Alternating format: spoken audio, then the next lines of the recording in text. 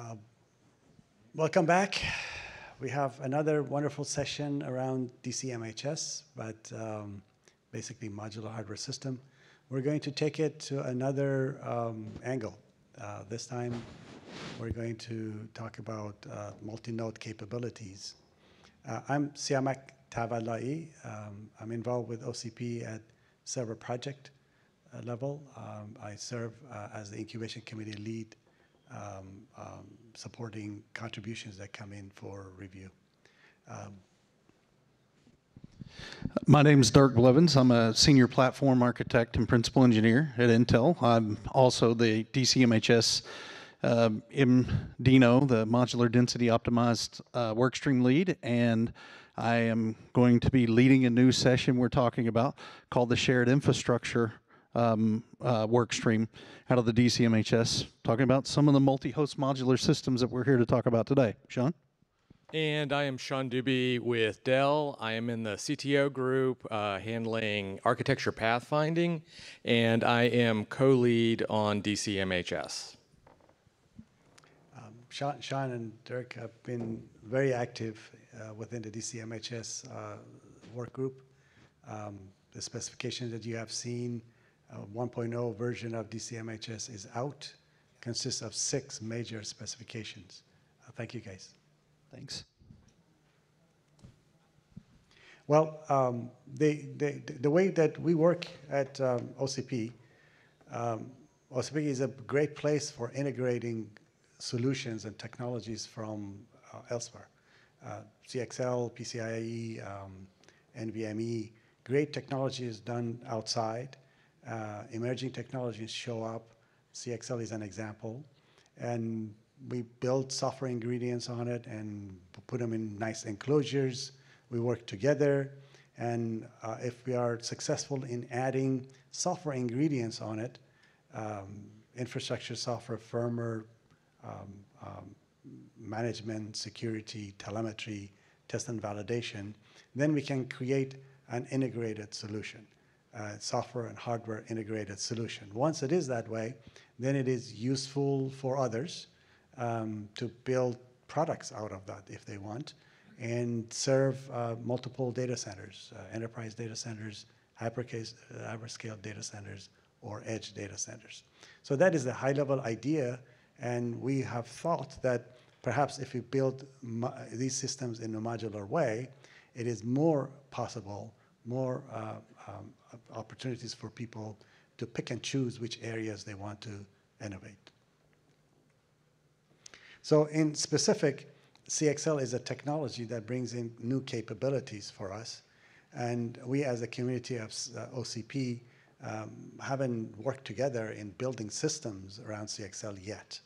It is good to know that uh, CXL brings in um, point-to-point -point solutions, very similar to PCIe did.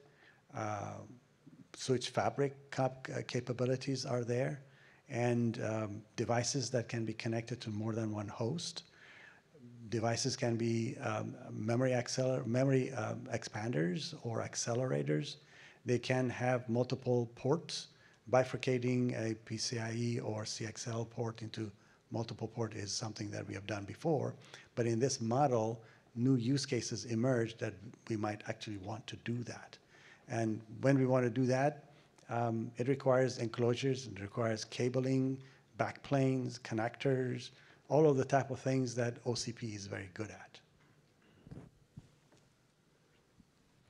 So when we start talking about multi-node systems, we have uh, a lot of different choices to, to speak to. E even just within a what we call multi-node can have different meanings. Well, one of the uh, the models that we use just internally to help with uh, with our own understanding of it and for discussion here is this fun analogy to, to what we call the hotel. So hotels are made up of many different things. We have the check-in desk, we have the, uh, the swimming pool, we have the fitness center, we have the dining uh, restaurant, um, but then there are also the individual rooms. And this is the analogy that we're using a bit for describing uh, a multi-node or a shared infrastructure system. So at the very top level, or uh, at least in this diagram, the top level, we have the individual hotel rooms. So it's where a compute node can live. So we have a lot of these different slots that uh, the, the, the compute, the CPU, or some other type of processing device can go into.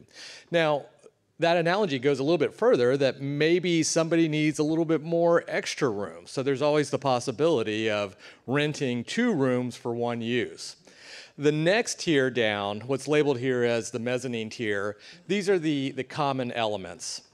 The swimming pool, the restaurant, and so forth. These are, in our analogy, the, the, the resources that can be used. Maybe they're very simple, a shared NIC, shared, um, a shared storage device, but maybe it's something much more complex. It's, uh, provide, it's a switch that provides connectivity uh, amongst the devices or the compute nodes or connectivity outside. And then at the lowest tier is the expansion, uh, the expansion terminal here, where this is going outside the perimeter, going out to something else uh, to have additional resources. Memory, memory is a very popular one now with CXL uh, for what it's offering, uh, having pooled memory, shared memory. But we also have other things such as storage or accelerators. And then, uh, not necessarily in the drawing, but you have the registration desk uh, that's within the hotel. That could be very much an analogy for um, any type of fabric manager, chassis manager, anything else that's helping to orchestrate the overall solution. It is, uh, it's actually good to um, use the place that we are. Um, there's a hotel right here, independent rooms are there. And we are basically on the mezzanine level. We have a shared resource, and we have actually come from outside. So this was perhaps available to the uh, hotel residents as a shared or pooled uh, resource, but it is also rented out to people from outside. From outside, you come in. So this, this expansion uh, uh, interconnects allow external people to come in as well. So that's another uh, notion that we would like to enable. When these guys shared this analogy with me, I was like, man, this I just get it. I get it. So, got to give Siamak credit for the analogy. In all fairness. All right, and th this is kind of just putting it a, little bit more in computer terms. Um, so still more of the uh, the hotel analogy, but here we see the different levels of the compute nodes, uh, the hotel rooms hosting the compute. We have the hotel mezzanine interconnecting, and uh, this is where we're excited to see CXL as a, as a pathway uh, to interconnecting maybe we will have solutions that are not CXL, but by all means, we want to enable CXL uh, for what it will offer us with expanding out to uh, uh, shared resources and external resources. Okay, and this this is uh, showing for, furthermore of the the analogy, the uh, the different kinds of rooms that you can have. In the the far left picture, we have a, a classic two socket uh, HPM uh, with two CPUs. Uh, it has a, a, BMC with root of trust, a smart NIC, and additional add-in cards, uh, each with their own root of trust. But then on the next, the next slide over, or the next uh, column over, is a different kind of room. Instead of the presidential suite, it's just a deluxe room. Now this one starts to introduce uh, additional concepts here. We have two HPMs that are very well independent of each other. It's, it's a multi-host or a uh, multi-domain, uh, multiple uh, SMP domain as an example, multiple OS. And, but it's still being um, uh, resource or sharing um, the BMC, DCMHS as an example, uh, being managed by both. And then on the far right is a you know, continuation of the, the hotel mezzanine, um, the expansion chassis uh, with resources. This is a, a, a, another um, example of the affinity that the control elements have to each other uh, uh, DCSCM and SmartNIC, uh, you see there's one, one block that shows them being close to each other. Uh, they're controlling the system, they're interconnected to each other. So um, it's a good point to make because as we build systems, we might want to have a special place for them. So as we look through this, you know, we've looked at some of the, the physical topologies. As we start to understand, I'm going to take you through a quick little journey of how these things play out and how they they move through. So, if you look at the single node representation, and we look at it from an implementation standpoint, you have to have all the elements that go into a solution. Now, we've been talking a lot about DCMHS and DCSCM and SmartNICs and all these various things, but we're doing this for a greater reason. We're doing this because all these things are going to come together. They're going to play together. We're going to implement software that implements these future solutions, and it all starts at the simplest building block, which would basically be a single node representation that we all know and love. You know, so we've we've been doing this for a long time. Now, if you look as we move to the future, though, the future starts to introduce more complexities. Now you start to introduce a situation where you want to have more pooled, more shared resources. You have multiple uh, HPMs that will be attaching to single management infrastructures that's controlling entire chassis. You have to have interoperability with expansion chassis. This stuff starts to get a lot more complex, a lot more capable, and we need further specification and definition to ensure that we have interoperability between all of these particular elements. One, one, one way to get there is to start with reference designs. Oh, yeah. So, so this is another reason that we are here is to uh, eventually recruit uh, more collaborators so we can define these things and start building something in the form of a reference design uh, that perhaps a year from now we would have some prototypes. Much like we started the MHS work a year ago, now we're seeing them out on the show floor this year. you know, Right, so- exactly. So it, it, it- it works very well that uh, during uh, uh, OCP Summit, just like today, we talk about futuristic things. We don't have a solution today yet, but we know that you guys are smart. You're going to come and help us. And we could maybe promise by uh, regional summit in April, we would have a um, um, half-baked specification, 0.5, 0.7. That's about what it was. But, but that was good enough for uh, people to use to start actually prototypes. And there are some prototypes on DCMHS. Uh, basically, you saw that on the show floor and a, on the um, keynote speech as something that was built on basically 0.7 version of the spec. Yeah, it's beautiful too that people followed along with the spec. I've worked in different spec bodies over the year. Ethernet is a common one to where people build with the spec, trying to be first out there, first adopters. And I saw the same thing happen in this particular instance, and would love to see it again with the shared infrastructure stuff. So now, if we go back to the complexity and some of the association of what we were looking at previously, um, some of the things that Siamak was just mentioning, you know, you have close proximity and interrelationships of management of these systems that's going to be not only talking about management of the physical elements of the system, but also uh, understanding discovering and provisioning various elements of the fabric uh, management capabilities as well. So you're going to need to have more complexities. These things are oftentimes captured in a couple of different elements as currently defined, but these elements must work uh, together. And you're looking at uh, these solutions being implemented through what we're calling the DC MHIB, which is the Management Hub Interface Board, that would allow you to be able to connect up and have uh, this communication and capabilities between all of these different pieces in the system. You guys want to add anything to that? Yeah, it could be thought of as multi-host interface board as well. So um, we have good names for this. I'm going to change the name in a, few minutes. Shared infrastructure, baby. so, and as you look at this, it further builds out. You know, we start taking into account of all the elements that we've used over the, the multiple years we've been developing these things.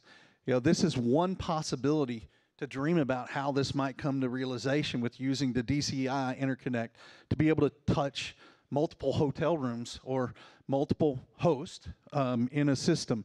You know, then you have the ability to have the smart NIC that can be shared uh, as an element across all of these private entity or private domains. But then you could also have the shared resources that you have to talk to um, through the expansion chassis. So there's a, a lot of capability, a lot of complexities, and there has to be interoperation and capabilities to be able to uh, have visibility in what these systems are doing, provisioning, and deploying. So, so basically, um, one central element in all of the conversation we have here is we are part of OCP. We integrate uh, great technologies together in a useful way. Um, when um, the solutions exist outside, we'll just use them. RMII, for example, exists. Uh, DCSCI is the interface between DCSCM and HPM that was produced and went to specification a year ago, and then 2.0 version of it happened just recently as well. So those things do exist. When those things don't exist, we make them, we define them, we receive feedback, we put them into a specification, and we push it out to um, libraries. Now, the later those elements we will reuse in some other environment. So in this example, you see that a lot of these uh, interfaces are basically standard. So we don't want to reinvent the wheel necessarily. We would like to just use them, put them into a good, good shape. So Siamak, take us home, man. We're, what's the call to action here? You know, with that said, yeah. Well, uh, again, there's a lot of good work going on. Um, we are part of the server project. Within the server project, we have a number of sub-projects already, OAI, DCSCM, um, OCP NIC, as we just talked about, HPC, all of those, and, and the new, newly, uh, hopefully formed soon, uh, DCMHS as subgroups.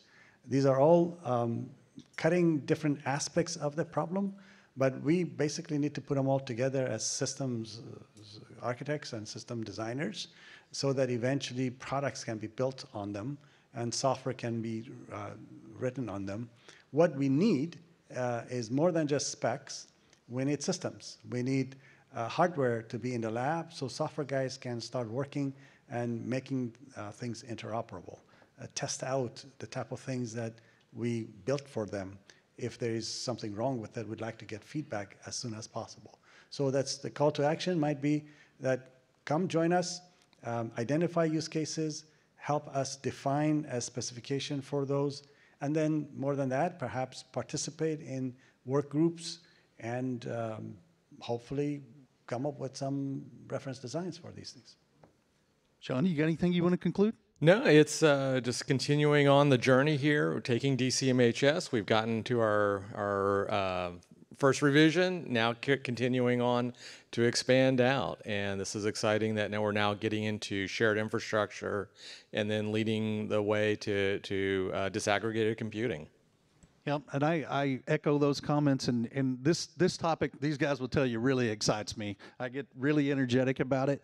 I think there's a lot of opportunities, and all the things you've been hearing about for the last couple hours and, and the session before this, we're looking at how to make all these things interoperable, make them all work together, and work together seamlessly. So that's the key to this. It's to me, it's not really about just modularity. We've done modularity. It's about interoperable modularity. It's about making this stuff work together as building blocks, as Lego blocks, and bringing the vision that these guys and, and the others started. I mean, it's it's to me, it's a really exciting thing. So, um, If you would go, please go to the diagram that showed the interconnects. to show the which one? The interconnects, any of them. Yeah, that's maybe the simplest one. The, the first one. Simple. The simplest one. Yeah, th- this is good. So um, if we define individual modules and interfaces to other modules, man, we have done two thirds, three fourths of the work already. Uh, that can allow software guys to start dream about what they want to do, what they want to control, how they want to move data, and uh, how, what, what they need to do to secure things. So th- defining the interfaces is basically great work, work to be done.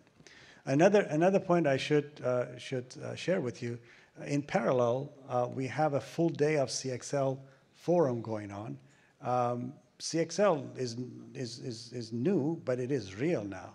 The reason that we are thinking about these modular concepts really come from the fact that with CXL being there, enabling these techniques, these things are possible. So let us just do them. Another plug, um, Sean uh, and I are on board of directors of CXL. So we cannot see what's happening on CXL, what the 3.0 is, what 3.1 might be, what 4.0 might be. So we have a little bit of insight in what is around the corner. That's one of the reasons we're asking for help to build these things one step at a time. And things should not be house of cards. We need to build them, test them out, uh, break them, fix them, help each other plug the holes, make them robust, fault tolerant. Um, if cables need to be developed, uh, we work together. If cables need to be stretched a little bit longer, we do the signal integrity work and the mechanical work and reliability work. All of that is in front of us as challenges, but at the end of the rainbow is a pot of gold. So CXL will bring a lot of uh, uh, uh, capabilities to us. So we want to close for any questions? Questions? Time? We have, what, We're four close minutes for it. questions. Uh, It's a rich, rich set of topics if you guys want. Uh, We have experts here on the, on the stage. I'm sure they can handle your questions, or we make them up.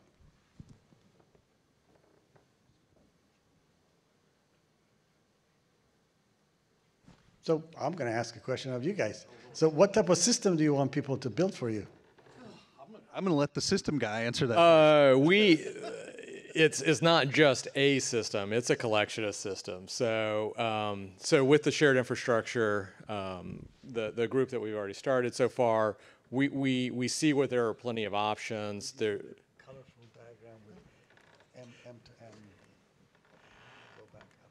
Yeah, there, there, there, there's there's a collection of different Yeah. uh, things. Well, well, okay. So back to the hotel, uh, we'll have solutions where it may just be compute node and there's not much else. But then as we get into other other types of solutions, yeah, it, it's where we have a collection of of rich peripherals, interconnects to, to connect out. So it's not it's not just one answer. It's it's a it's a family of answers. Uh, th- that is true. And family of answers and based on time. Uh, the simplest models are when we have memory controllers uh, plugged directly to the CPU. And those can come in standard form factors such as PCIe or E3.S. There, people are building them in show floor. You probably see them uh, there already. So that is, we know how to do it because we've done PCIe. But then after that might come uh, memory pooling concepts. Uh, memory pooling concepts, this diagram is actually showing a memory pooling concept. A memory device is connected to multiple hosts. These hosts can have access to multiple memory controllers, and therefore the range of uh, ratios between number of cores to memory capacity can be uh, chosen by software configurations. So software-defined concepts, memory tiering concepts, all could be possible but we need to build systems. So this system could be a chassis, a number of um, uh, uh, processing elements, HPMs, and a number of memory elements, CXL connected memory controllers, and they are interconnected. The interconnect could be PCBs, backplanes, or, or cables. Uh, any of those are possible. So it would be good to receive some proposals for, for, for building a system, a chassis just like that. On top of it, um, you probably have already seen, CXL allows uh, larger systems using switches. And with switches, you can go from chassis to chassis. You can even dream of a, maybe half a rack or a full rack ensemble of um, memory pooled elements, storage pooled elements, uh, compute elements, all interconnected to each other. Again, um, hardware without software is just produces heat. So we need to build these things.